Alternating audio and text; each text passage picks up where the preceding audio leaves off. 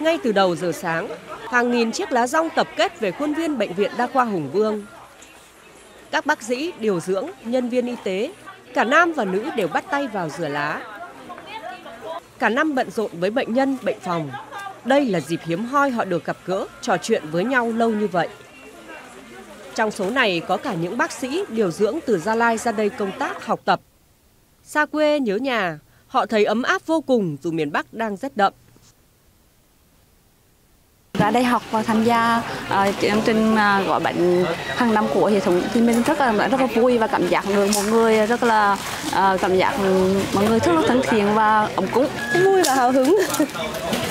Rất là vui. Thì cái không khí này làm cho mình gợi nhớ đến uh, cái không khí ấm áp của gia đình. Đến khâu gói bánh trưng, khuôn viên bệnh viện đông vui lạ thường. Những đôi bàn tay ngày thường cầm kim tiêm, cầm dao mổ thì nay thoăn thoát cha đỗ, buộc lạt. Hàng trăm con người quây quần tụ họp càng khiến bệnh viện như một đại gia đình. Không ít người bệnh đến góp vui và chắc hẳn những chiếc bánh trưng, tiếng cười nói rôm rả cũng chính là liều thuốc tinh thần để họ vơi đi bệnh tật.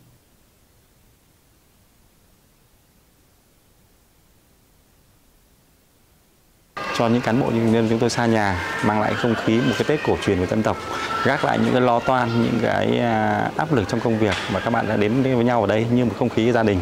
À, mặc dù giá trị của một cái bánh trưng thì không lớn nhưng chúng tôi đã gửi gắm vào tình cảm trong đó từng hạt gạo từng à, từng gói đỗ từng mấy tấm lá. Đó là tình cảm của cán bộ à, bệnh viện Hùng Vương đối với cô nhà Hùng Vương chúng ta và của lãnh đạo bệnh viện đối với cán bộ với lực lượng à, cán bộ trong hệ thống y tế Hùng Vương chúng tôi là hơn 1.000 cán bộ.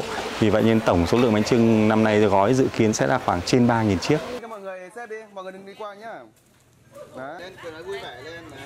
Hơn 3.000 chiếc bánh trưng đã gói xong và đem đi luộc. Bếp củi ấm áp đã xua tan hết không khí lạnh lẽo trong bệnh viện. Ca trực nồi bánh trưng không giống ca trực trong buồng bệnh. Nhưng chắc chắn, ca trực đặc biệt này sẽ gắn kết thêm tình đồng nghiệp, sẽ tiếp thêm liều thuốc tinh thần cho những người mặc blue trắng trong năm mới.